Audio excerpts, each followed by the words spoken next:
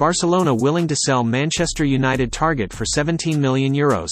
FC Barcelona are willing to offload Sergiño Dest for a minimal fee with Manchester United previously interested in the player.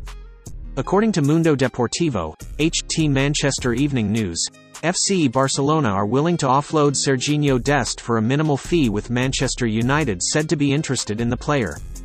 Dest was previously one of Erik Ten Hag's main targets when he looked to move Aaron Wan-Bissaka on after the right-back failed to impress him. However due credit should be given to Wan-Bissaka, who showed improvement in his game and was actually preferred over Diogo Dalot in the latter stages of the season. His resurgence and Dalot's continued growth have allowed United to put the plans for a new fullback on hold with more urgent positions in need of care first. Dest's current situation at Barcelona might test Ten Hag's resolve, who was keen on bringing the USMNT international to Old Trafford. Now he could be available for a minimal fee of 17 million euros which could attract the likes of many clubs looking to sign a fullback.